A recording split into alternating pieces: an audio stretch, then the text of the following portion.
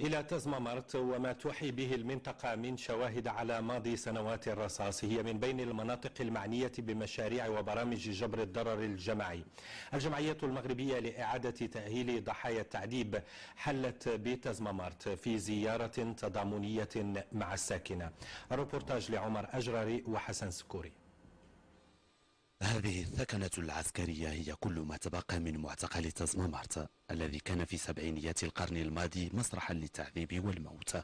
السيدة عائشة زوجة أحد المعتقلين سابقا تتذكر سنوات المعاناة التي عاشتها رفقة أسرتها في هذه القرية الصغيرة. عندما اعتقل زوجي لم أكن أعرف مسيره عانيت لمدة عامين قبل أن يظهر فجأة سنة 1973 حيث اعتقل مرة ثانية تاركا وراءه أربعة أولاد تكلفت بتربيتهم.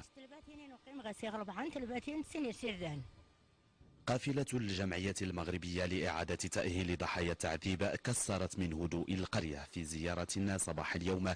تم خلالها الترحم على أرواح المتوفين داخل زنازين المعتقل في مبادرة تضامنية مع أحوال هذه القرية. للمناشدة بجبر ضرر حقيقي اولا المجموعة ديال التزمامات ثانيا للقرية التزمامات اللي عرفت كذلك حصار لمدة أكثر من 30 سنة. وهذه مناسبة باش المغرب باش يأكد مسائل ديال ارساء دولة الحق والقانون وهو لكل حق حقه. يعني جبر ضرر حقيقي في الحقيقة كل ما أنجز في تزمامرت هو مخيب للامال آه، هيئة الإنصاف والمصالحة وعدت وقامت بتوصيات ولكن هذه التوصيات لم تطبق.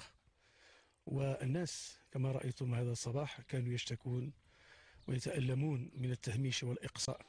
وقد تميزت هذه الزيارة بتنظيم وقفة رمزية للمطالبة بكشف الحقيقة حول المختطفين مجهولي المصير كما تمت مناشدة الدولة من أجل جبر الضرر الجماعية لهذه القرية.